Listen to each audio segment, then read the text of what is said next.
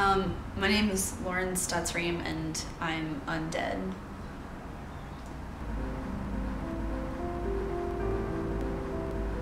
Well, I feel that there are a lot of misconceptions out there, and I'm really hoping to clear them up because it's really high time that, you know, people open their minds to the new movement of, you know, the undead. I think it's um, inconsiderate that people have this stereotype, um, you know, that we're just like stupid, you know, brainless creatures even that just don't make a contribution to society. Like, really? Like, I don't, I don't think that way about anyone. I'm a really open-minded person. You know, I read books, I, I watch the news. I'm, I mean, I feel that I am making a bigger contribution to society than maybe, maybe, maybe you even do.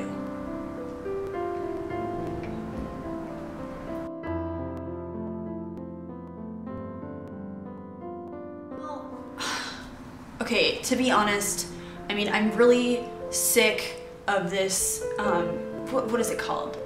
The Dusk, it's the books with the, the Twilight.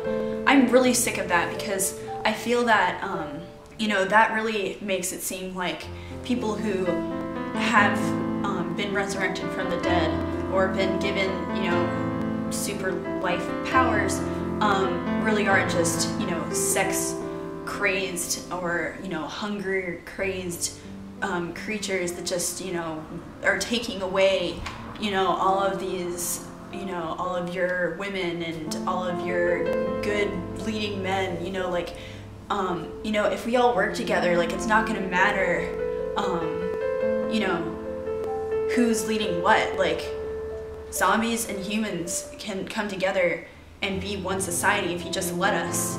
You know, it's really, it's not, like, I don't understand. It's, it's, it's absolutely beyond me.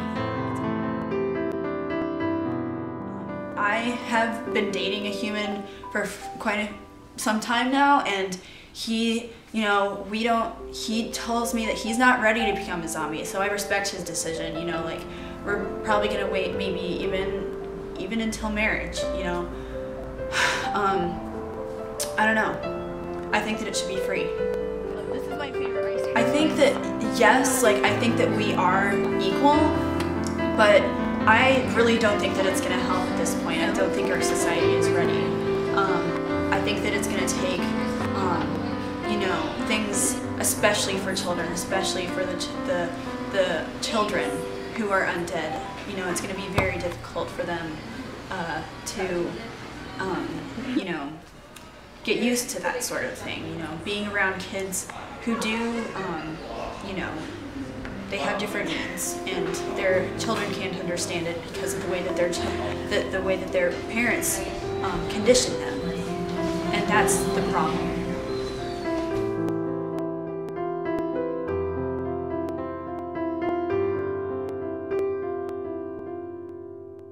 I'm actually a full-time student right now. I'm I'm actually an art student. It's funny, like, you know, I'm sure that people don't think that you know I'd be possible of that that um, level of thinking because you know people are ignorant and they don't they choose not to um, be informed. They choose not to. But yeah, I'm you know I'm in. It happens to be the number one public art school in America right now, if you can believe that. And I was waitlisted, but you know, it's my dream to be an artist.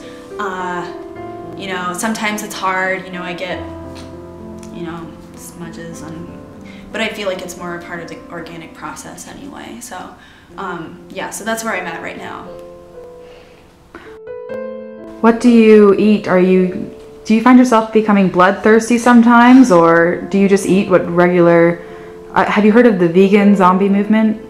I've heard of it, and I mean, I don't quite agree with it because I feel like um, those zombies are really just trying to play up, you know, like what they think that, um, you know, regular humans want to see. You know, they want um, us to give in to, you know, their prejudices and, you know, be who they think that we should be. And I really like, I, like, I eat meat in the in the portions that are healthy for my body type. And um, you know, like I eat, I have a well balanced diet, and like it's it's just it makes me sick that you know people just like you know I, I was in um, I was in Wendy's the other day, and I asked for a frosty, and you know she just looked at me like like really cold, you know, and I mean it's just small things like that, you know. I just wanted a frosty.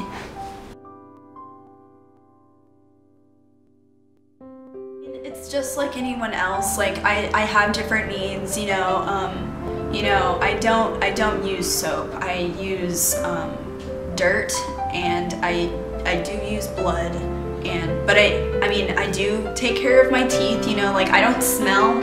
I don't smell. Like, do I smell? Can you smell me right now? I can't smell a thing. Yeah, I mean, like my roommates, like I've told them, like you know, if if the rotting flesh is like getting to you, tell me, like you know, I'll take care of it, you know, and I exfoliate regularly, like, um, you know, it's just so funny. Like all of all of the movies and stuff are just they have they they just feed you know all of these like you know really dumb stereotypes and like kids are just like they they eat it up you know but i mean so my hygiene is good my diet is good like i talk about you know i have a social life you know um, you know i like i work down the street at um, the strawberry street cafe and you know it's like like i said like in the city people are a lot more accepting um, uh, every once in a while i'll get like maybe like sorry like an older couple um, you know they're typically you know wealthy obviously and they'll have their children with them and i can tell that they are just very uncomfortable and you know i, I mean like my life is normal. It's it's it's totally normal but people can't see that because of the way i look you know like and you know maybe every once in a while you know i do just i groan you know. I i mean it's just that's who i am. Well i mean i'm still like learning and everything but like i have to say like i do have a passion about you know um, really just tearing down the misconceptions about the undead and you know just maybe being you know like calling awareness like through my art you know and like i don't care if it's freelance i don't care if you know maybe you know there's an organization that already exists and like that's um, that'd be great.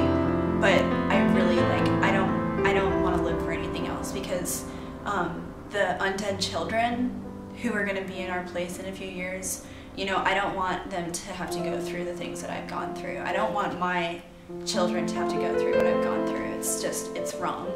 And I feel that society is headed in either two different directions. It's either going to get much, much worse. The, the riots are going to keep going and the government is going to, you know, I mean, it's very possible that they're going to create laws, you know, to, you know, really do some damage and perhaps even uh, who knows? Or, on the other hand, you know, we could push for equality and we could um, give our children a brighter future. And that's what I'm living for right now.